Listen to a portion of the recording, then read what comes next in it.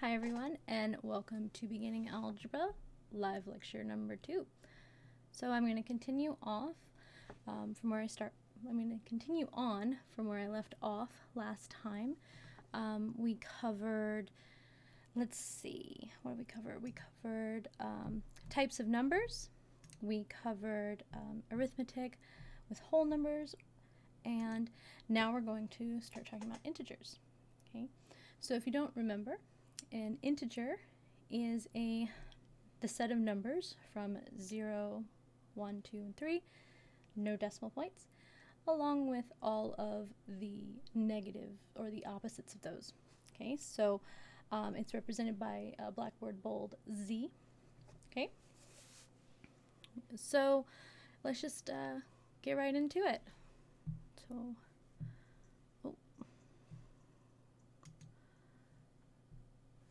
Oh, darn. I forgot to do something quick. Hold on. okay, sorry. okay. So let's talk about integers. So one of the operations you're going to need to know how to do on an integer is the absolute value. So the absolute value of any real number, not just integers, is the distance between a and 0. So you denote it by these two bars all around the outsides of the number. So what people think of is uh, this as it just drops any negatives. Okay, if you stick a no negative number in there, you get out a positive. The reason um, that is is because remember this represents the distance, the distance of that number oh, um, from zero. And distance is always a positive number, right?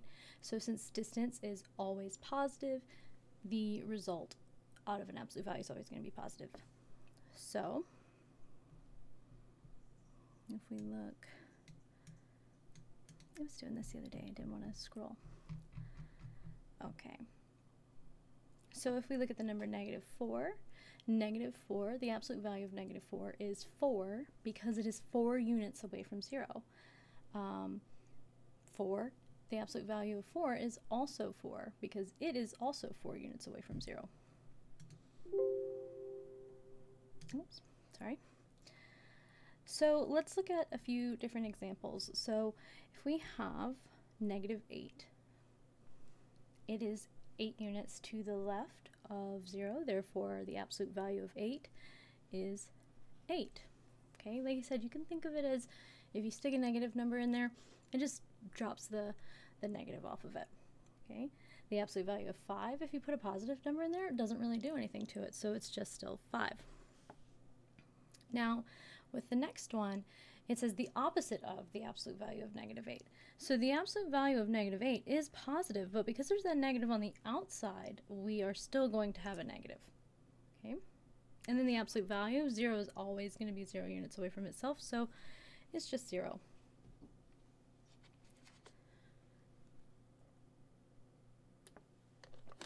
Sorry, I'm a little distracted today. Um, but uh, let's see. Okay, so if we want to place the correct symbols between these things, first we need to figure out what these absolute values evaluate to. So the absolute value of negative 5 is just 5. Negative 5 is 5 units away from 0. And then 5 is, you know, just 5 itself. So this is an equal symbol. All right.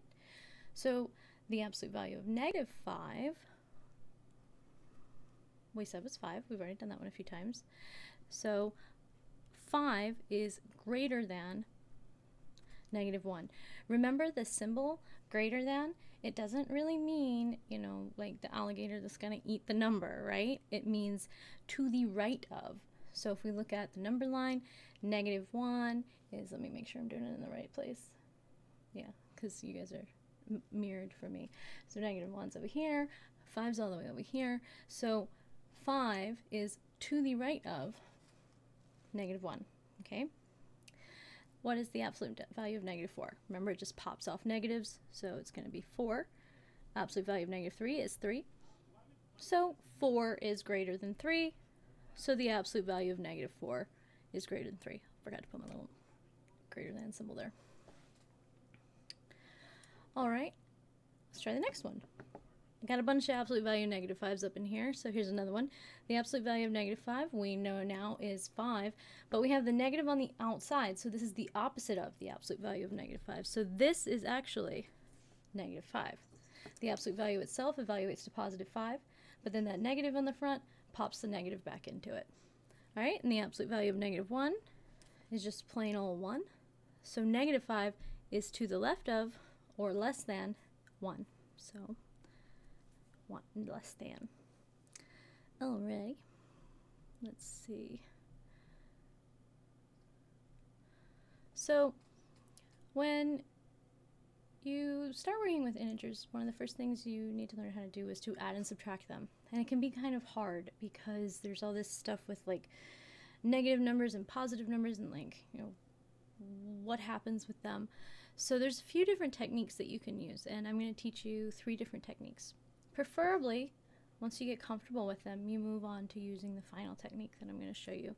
Um, these first few techniques are really just to help you kind of visualize the concept.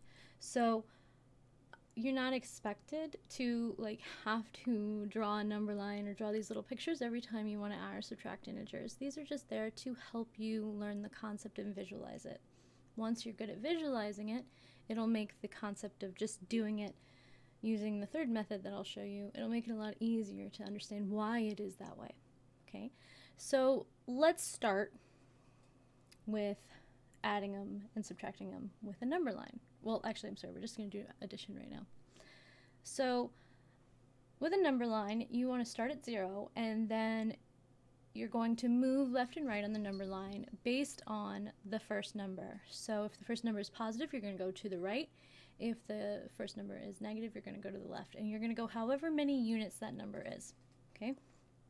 Then the second number is going to tell you if you're going to go to the left or the right again.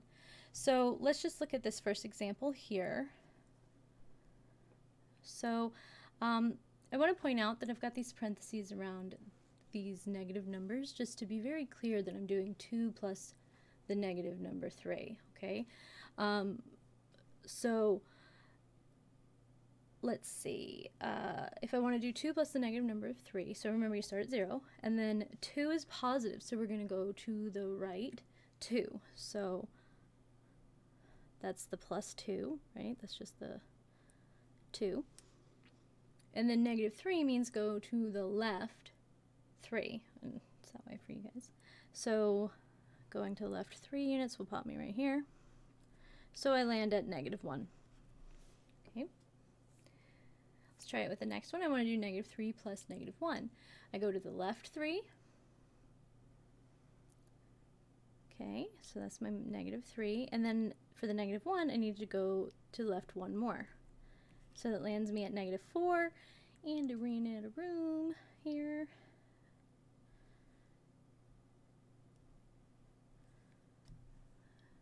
Negative 1 there. So I land at negative 4. Okay, let's try it again with negative 3 plus 5. So negative 3 means go to the left 3, and then go to the right 5. So we land at 2. Okay.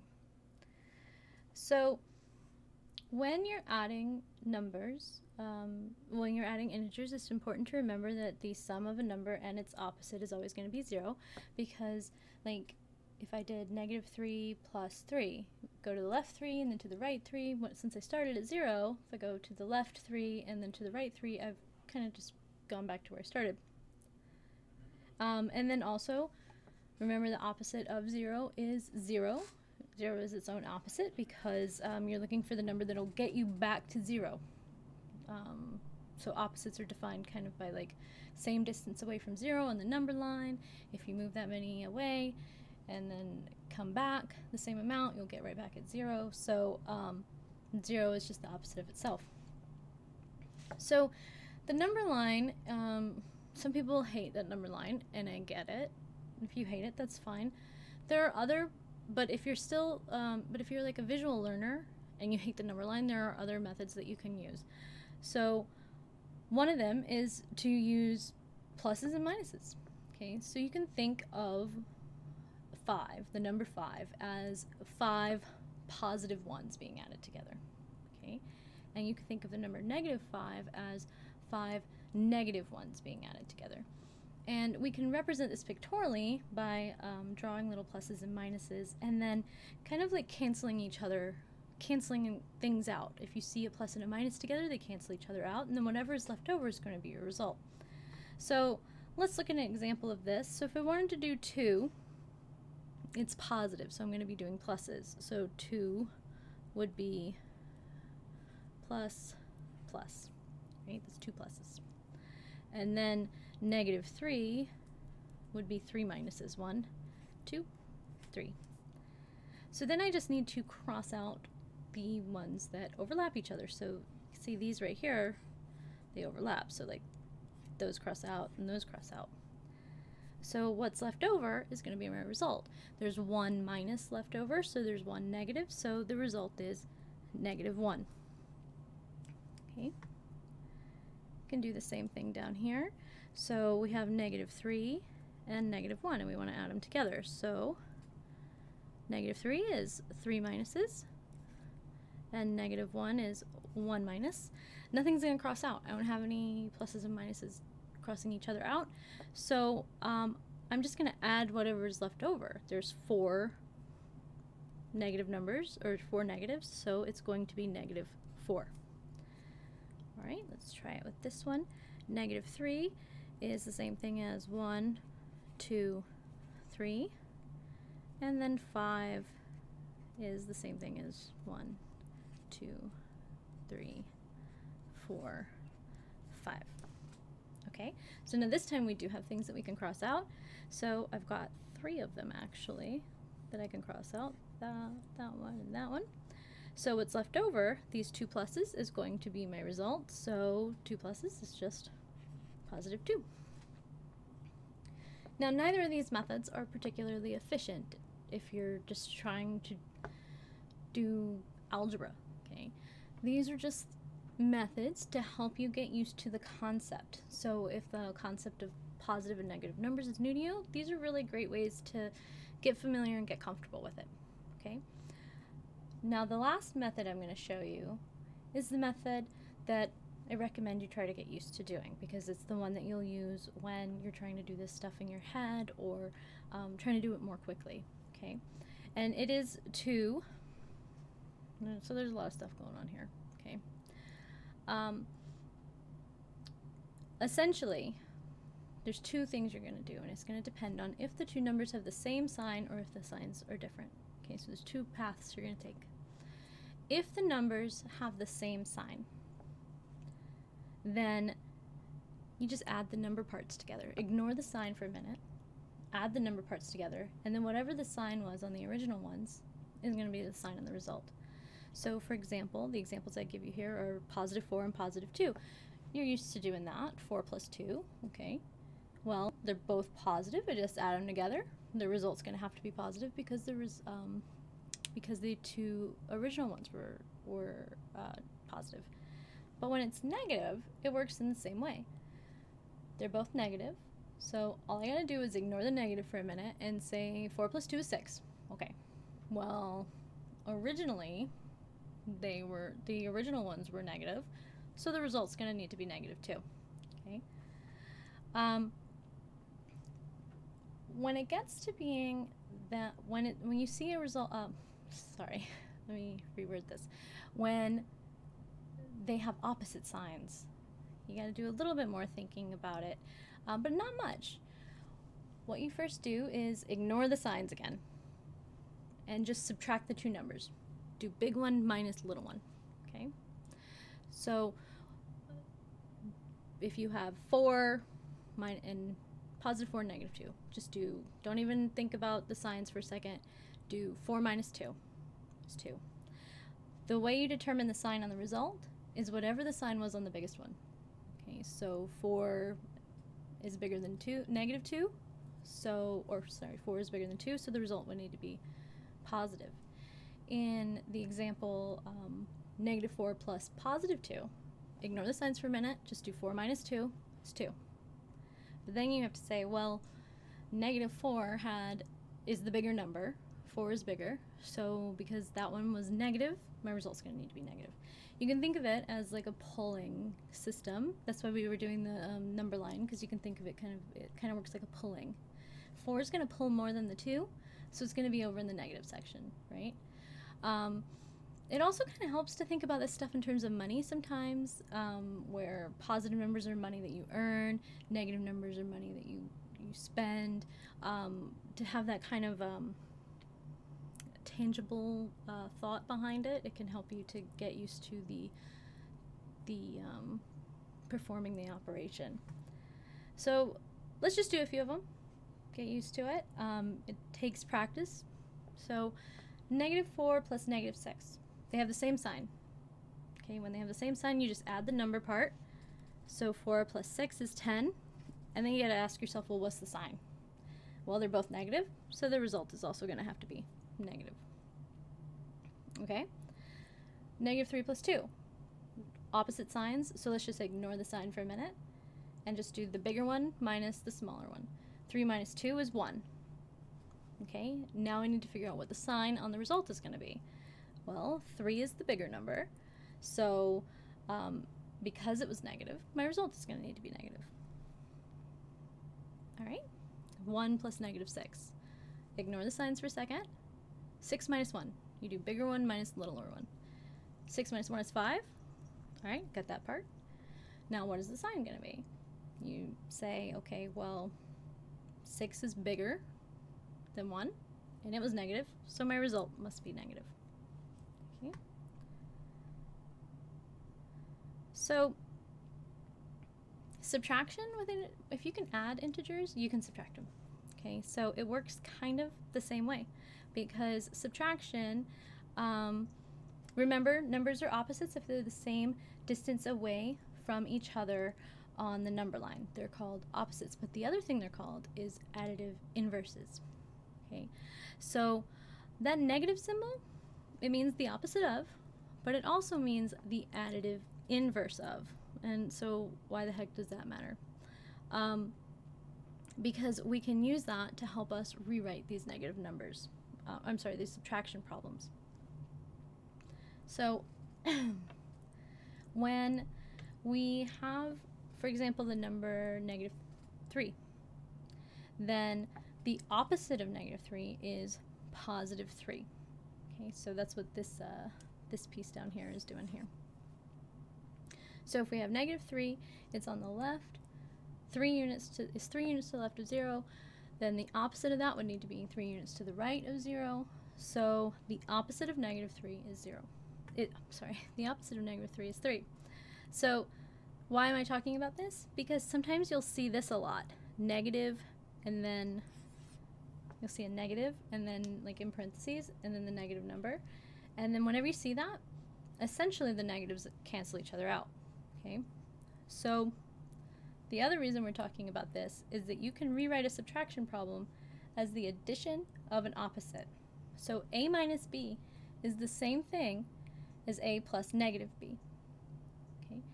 And because of that, we're not learning any new skills to perform a subtraction. We're doing the same thing we were just doing when we were adding them. It works the exact same way. Okay? So so you don't need to worry about learning anything new just rewrite your subtraction problem as an addition and do the same stuff you were doing before. Excuse me, got something in my throat.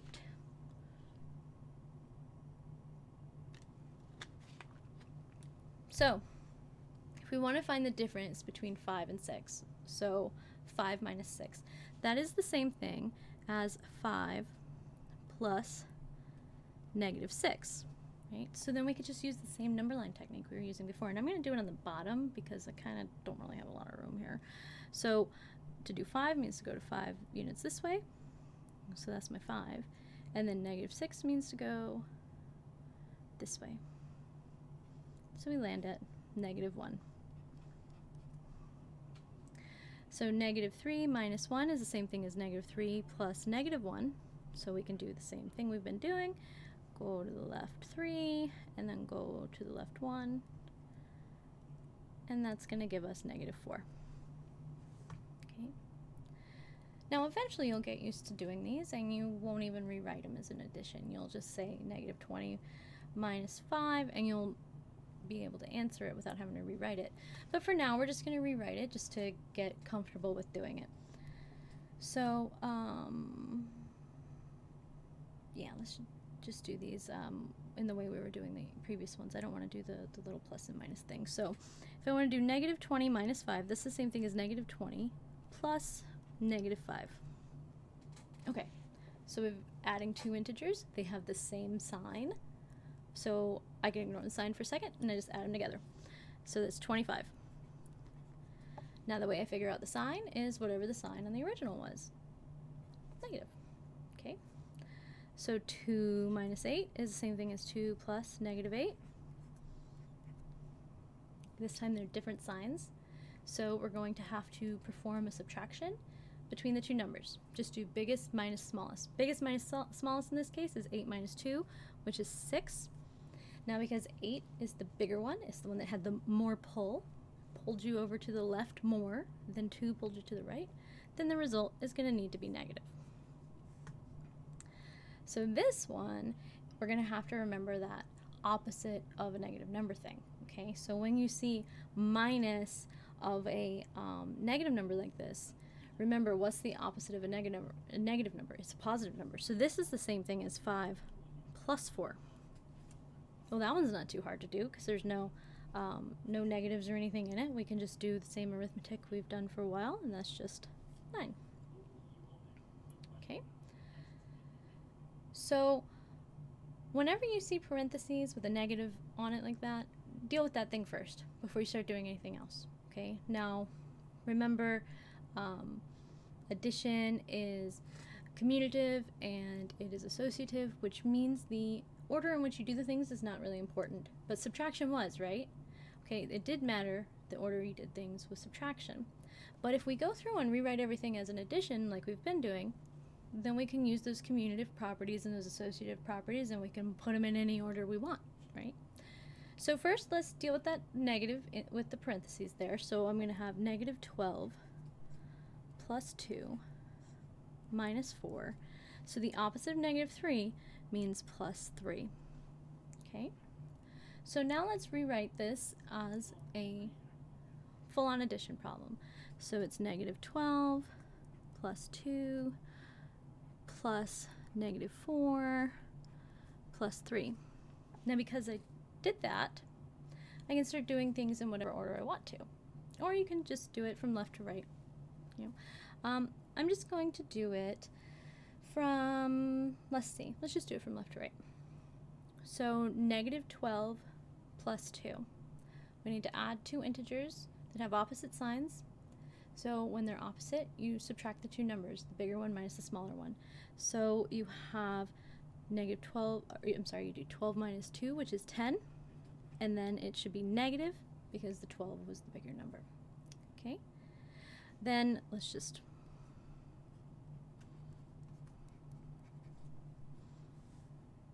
scooch over here a little bit. So negative 10 plus negative 4. Negative 10 um, plus negative 4, they have the same sign, so just add them together. So let's kind of, let's go this way. So it should be 14. If they're the same sign, you add them together. And then you give it the same sign as the result, so plus 3. All right, and then last one. Negative 14 plus 3, they have different signs, so I subtract them. 14 minus 3 is 11. But the sign should be negative because the 14 was negative. Okay, so um, can I squish this a little bit? Give myself a little more room. Technology is amazing. Couldn't do this on blackboards. Let's move this over here too. And squish it some more. Sorry. I just like doing this. Oh no! I lost my one on my 10 there. By the way, my husband is currently recording a podcast and he talks very loud, so you may be hearing him in the background. Um, that's it is what it is. That's what happens when everybody's working from home, right? Okay, so let's do number five 10 minus negative 2 plus 12 minus 6. So the first thing I want to do is rewrite all this stuff as addition. So 10 and then minus negative 2. We, when you see that, it's the opposite of negative 2, which is plus 2. And then plus 12, I don't need to do anything with it's already a plus. Then minus 6, so plus negative 6. Okay, so 10, now I can just go from left to right. 10 plus 2 is 12. And then rewrite that. All right, 12 plus 12 is 24. Well, this one's not too bad. Oh, now we got some negative stuff. Now, I could have probably left this one as a minus, okay, because uh, 24 minus 6 is essentially what I'm going to do. But let's think of it as 24 plus negative 6. Subtract the two numbers. 24 minus 6 is 18. Okay, and then the sign on this should be positive because 24 was the bigger number. So 18. All right. So um, we talked about this last class, but um, when you there's two phrases you'll see that represent subtraction. Find the difference between and subtract from. Okay, so if you see find the difference between between A and B, that means to do this one minus this one. Okay, so 5 minus negative 4. Now I see students get this particular type of problem wrong all the time. There's two reasons they get it wrong. Um, they forget which order the find the difference between comes. But the other thing that they do is they remember the order, but they get all messed up with that minus a negative thing. They think, oh, that can't be the right thing. Um, it was supposed to be the negative 4 first or something like that. No, this is right. Find the difference between is 5 minus negative 4. Or they'll just do 5 minus 4. That's the other thing they'll do. Sorry, my throat is hurting today. Um, so if we have 5 minus negative 4, can you hear him laughing? I don't know. I can hear him laughing. So remember, the negative, negative right on top of each other is positive. So 5 plus 4 is 9. Okay. So different when you see something like find the difference between, that's also representing the distance between. So the distance between 5 and negative 4, if you were to map them out on the number line, is actually 9 units. So that's why we're getting a positive 9 here, okay? So let's do subtract negative 6 from 12. So this one is in the opposite order.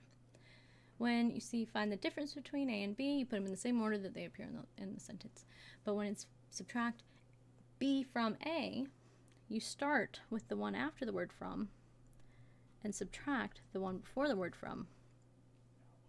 So this one I, I, see people get wrong a lot too. They put them either in the wrong order or they'll do 12 minus 6. They'll forget the negative because they think they're just supposed to drop it or something. But when you do 12 minus 6, or 12 minus negative 6, that's the same thing as 12 plus 6, which is 18. Okay.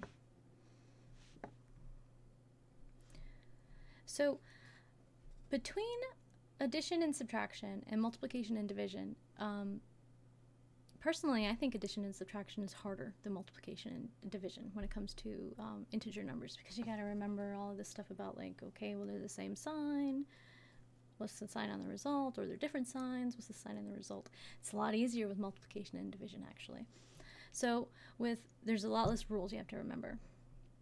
When it comes to multiplication and division, you want to remember that multiplication is shorthand for repeated addition.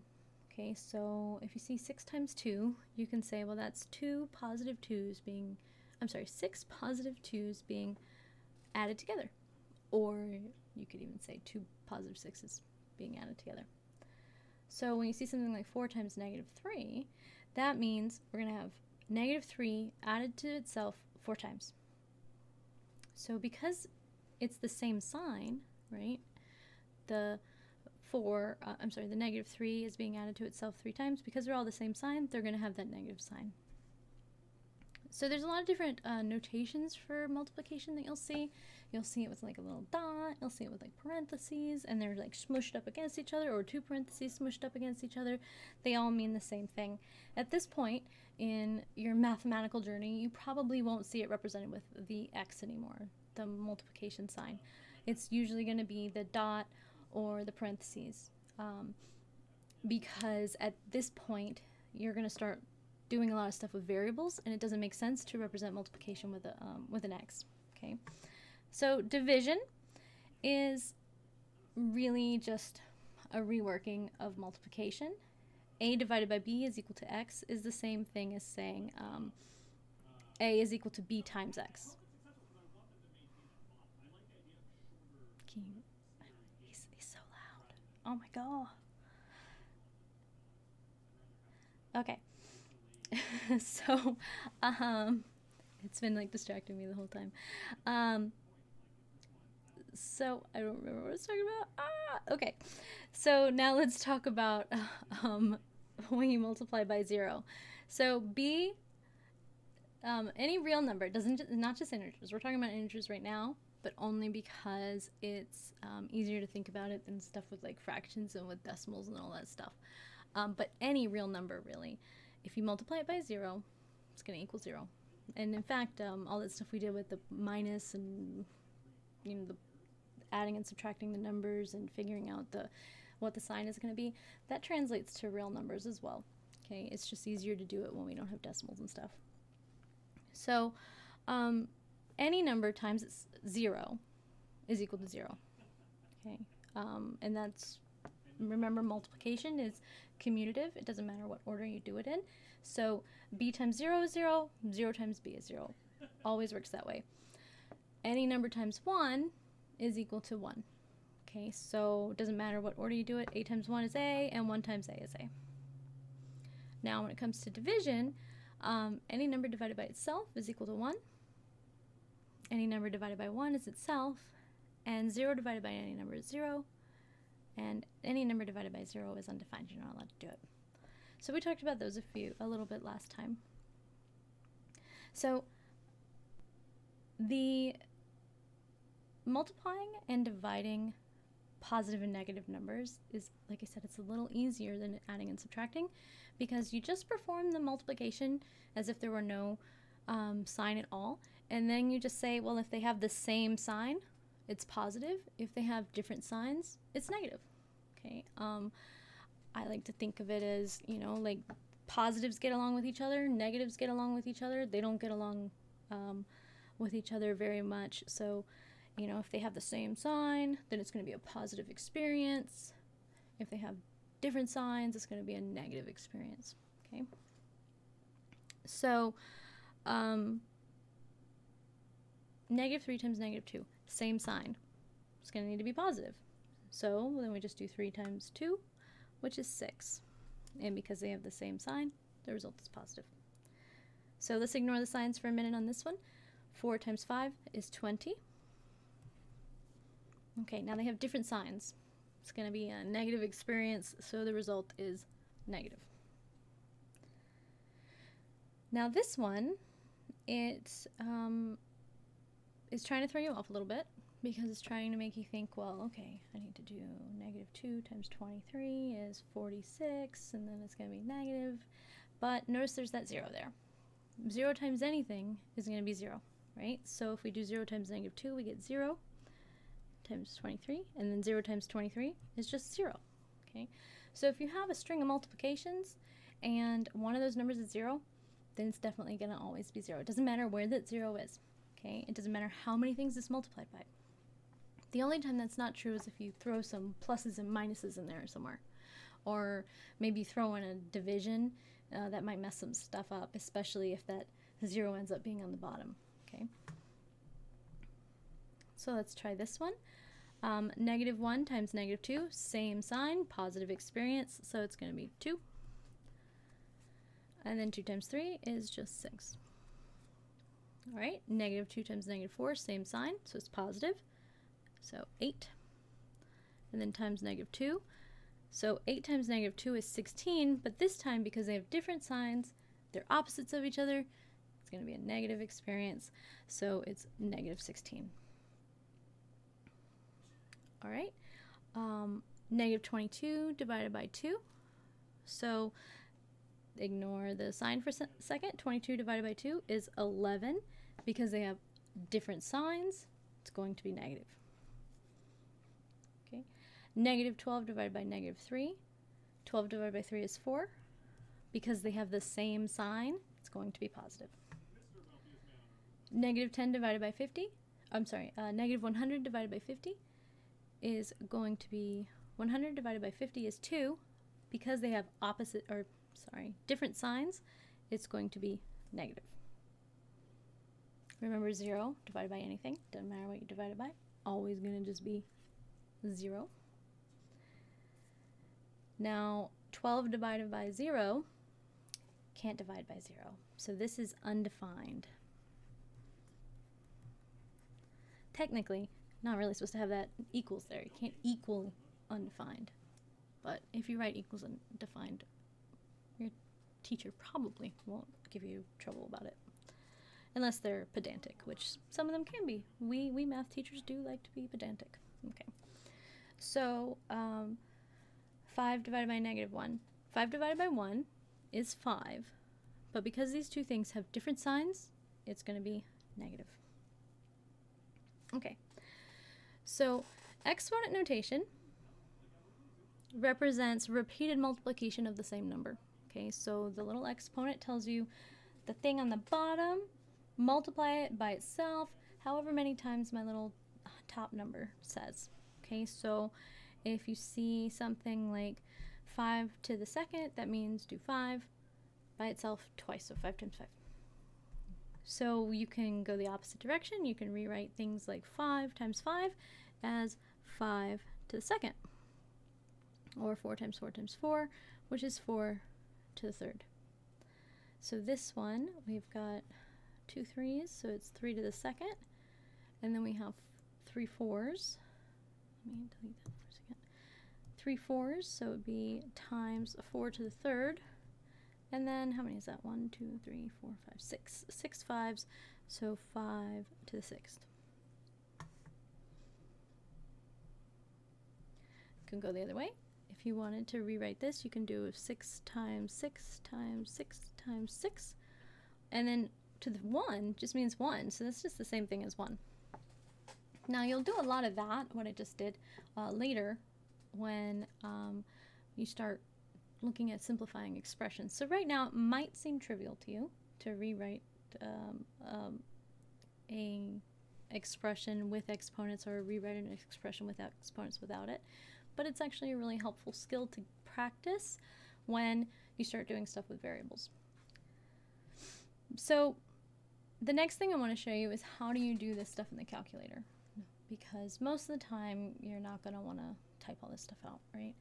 Um, or you're not going to want to try to do this thing in your head. Now, the calculator I'm going to demonstrate it with is a TI-84. It's the most commonly used calculator in algebra and on. Okay. However, if you don't have a TI-84, um, if you have so a TI-84 is called a graphing calculator because it can produce graphs. Um, if you have a scientific calculator, that's going to be one that has like a like a strip like a smaller strip on the calculator, um, it's probably still going to be able to do a lot of this stuff, or it's definitely going to be able to do what I'm about to show you. I think even like the cell phone calculators will do this. I don't know if they will do parentheses though. Maybe they will. I don't know. I haven't ever used it. So um, let's look at how this works. So you can do squared two different ways. Okay, you can do it with, the, there's usually a key specifically for doing squared, or you can use a little arrow key and do a 2. Okay, so for example, if you wanted to do 2 squared, you can just do, let me clear my calculator here so you should see it over on the side down there. I can do 2, and then, can you see my, if you can see my little cursor, um, and then squared, that's 4. Or I can do 2, and then this little exponent here, 2. Enter. Ooh, I need to turn off. This is a new version of this calculator, and it's doing pretty print, and I do not want printy print. How do I do that? Uh, I'll have to figure that out later. So your calculator might not look like that. It might look like um, 2 caret 2, okay? Um, it's called pretty print because it prettifies it. But um, if it looks like that, 2 caret 2, that's fine. So yeah, see here's an example of what yours might look like. Um, that's what most of the calculators are going to look like. They up, um, I had to upgrade. I got a new computer, which forced me to update the software for this um, TI SmartView thing, which means that now I have to figure out how to fix it because I like it the other way. Okay, so let's um, look at some examples. So if I wanted to do 15 squared, I all I have to do is 15, and then remember squared is a button, so I can just hit the little 2 there, enter. So it's 225. If I want to do 6 to the third, 6. Now there's not a little button on mine for the third. Some scientific calculators actually do have a thing for the third. Now your if you have a scientific calculator, it might look something like this. It might look like x to the y. You might see it's something like that. Um, that's going to do the same kind of thing. So 6 to the third, I need to do caret and then 3, enter. 216. Oh, using my calculator keeps getting rid of my, my pen. All right, and then 5 to the fifth is 3125.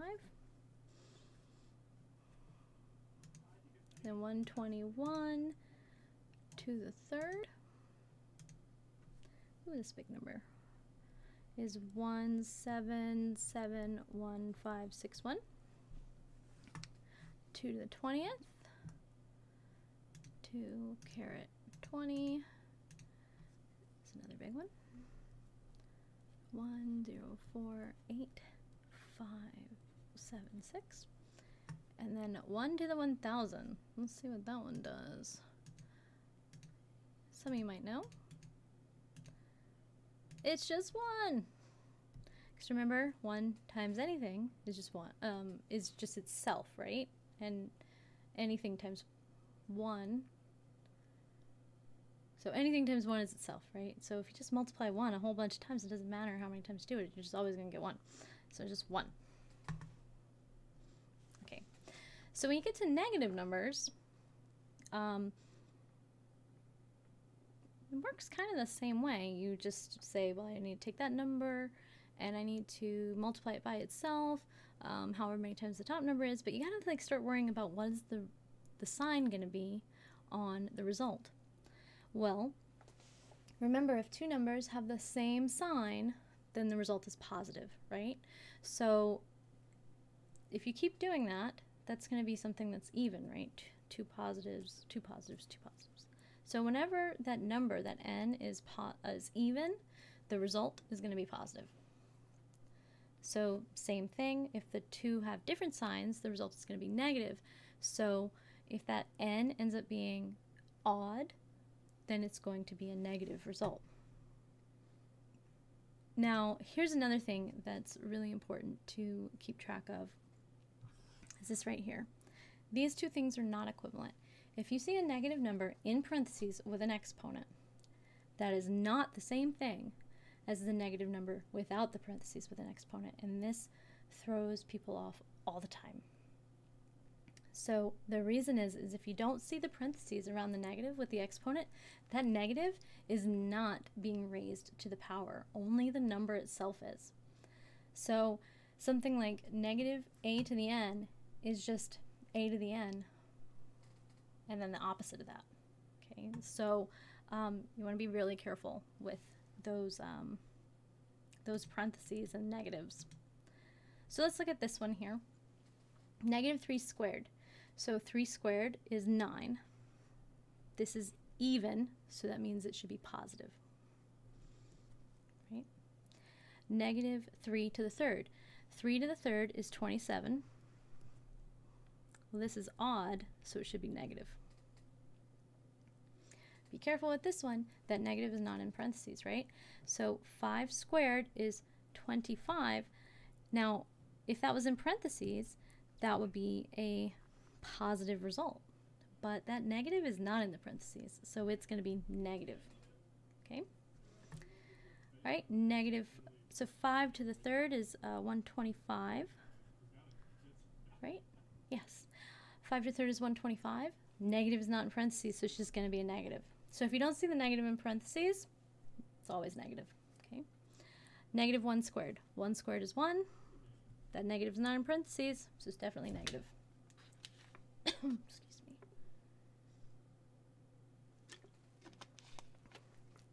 Negative 1 to the third. 1 to any power is always going to just be 1. But this right here is odd, so that means it's going to be negative. Okay. Now, if you end up using your calculator for this, you have to be super careful. Um, I have had many students who have come to me uh, during a test, they're freaking out.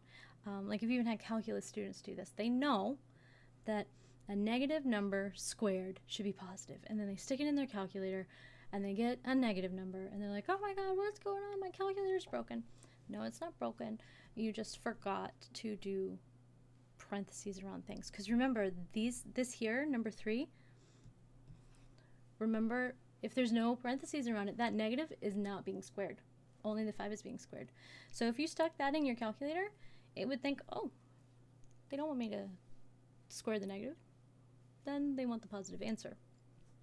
Okay, so if you see something like negative 10 squared, if you want to if you want to square a negative 10, the whole thing, you need to put it in parentheses.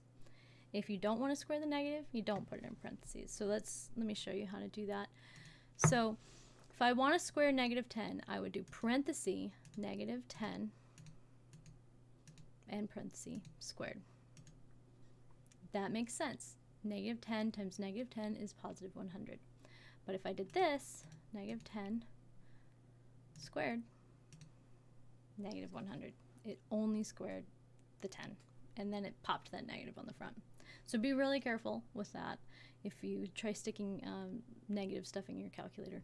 This is why it's really helpful just to know the rules and not fully rely on the calculator because if you enter it into the calculator wrong, it may give you the wrong result. Okay, so now that we've learned exponents, we can start talking about radicals. So radicals, um, they represent, if you have this little thingy, this little root thing, there's going to be a number on the outside, and that's known as the index. So essentially, the radical is the opposite of an exponent. So if you have the nth root, that's the opposite of the nth power. So they cancel each other out. Um, so one thing about that index is it can't be 0, it can't be 1, and it can't be a negative number. Okay, But it can be 2 or any number over that. Um, so, uh, what is that? Again? Oh, sorry. Can't be, I said it can be any number. It can only be an integer. But um, if there, oh, now I remember what I was going to say. If you don't see a number there, the number is assumed to be 2. Okay? So if you, like this one, there's no, um, there's no number here, so it's assumed to be a square root. It's just a 2. So what you want to ask yourself is, well, what number squared is going to equal 100? That's how you deal with these, because remember, they're opposite each other, right? Um, the root and the exponent are opposite each other. So what number squared equals 100? Well, 10. Um, this one is a, a root of 2, so what number squared is equal to 64? 8. Do I do calculator stuff on here? You can also stick this in your calculator. Okay, um, the calculator has a square root. Oopsie. So, um, square root, you have to hit the second square root and then of 64. And you probably, dang it, I don't like this calculator. You probably have to, on yours, if you don't have this pretty print thing, you have to um, close the parenthesis. How do I make that stop?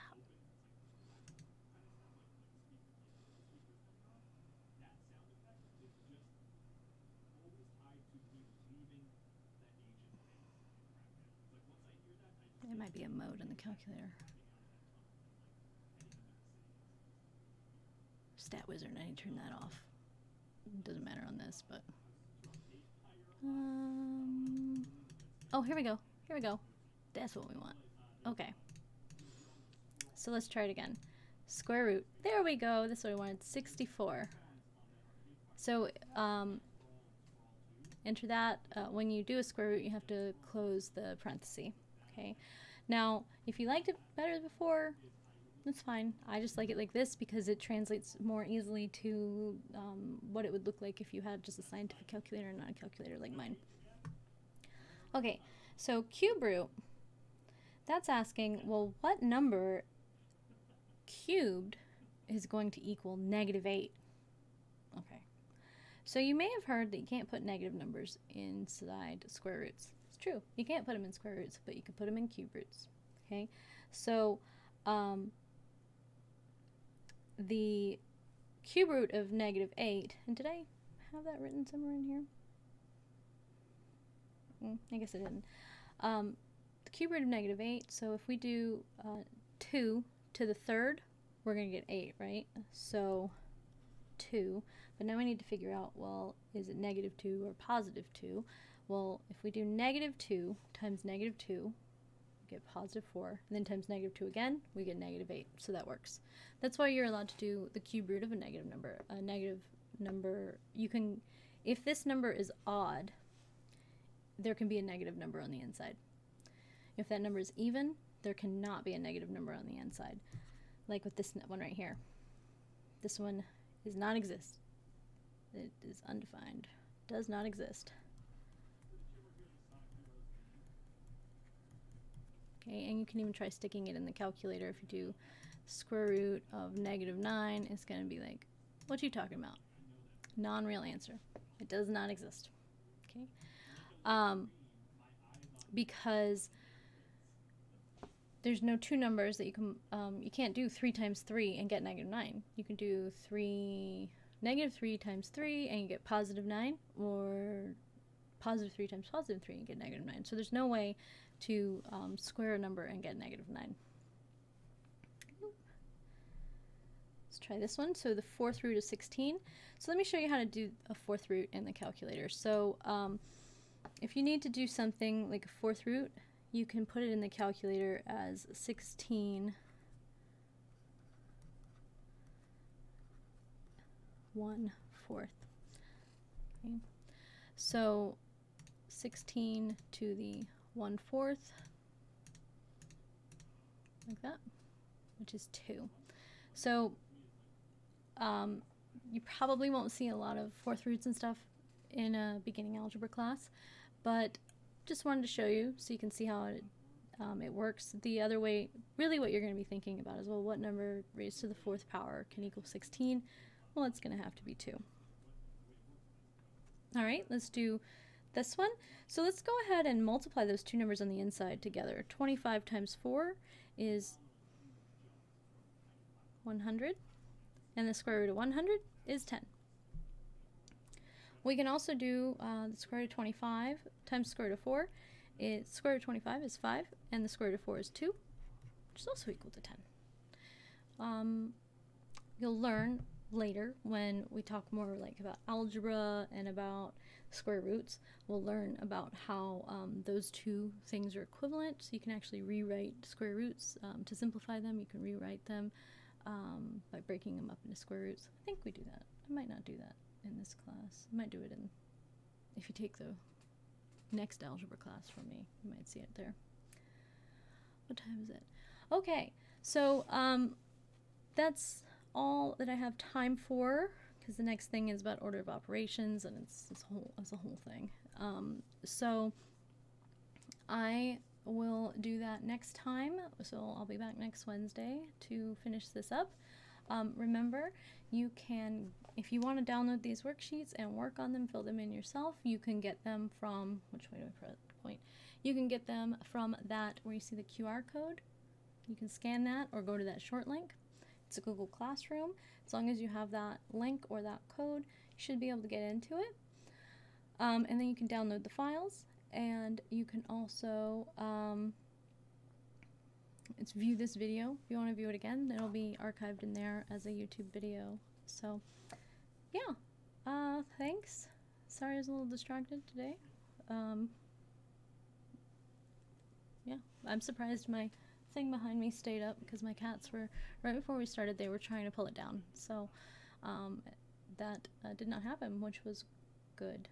Even though if it had happened, I would have probably made it a highlight of this video. So, anyways, thank you for watching. I hope uh, this helped you to learn some uh, beginning algebra. All right, have a good day.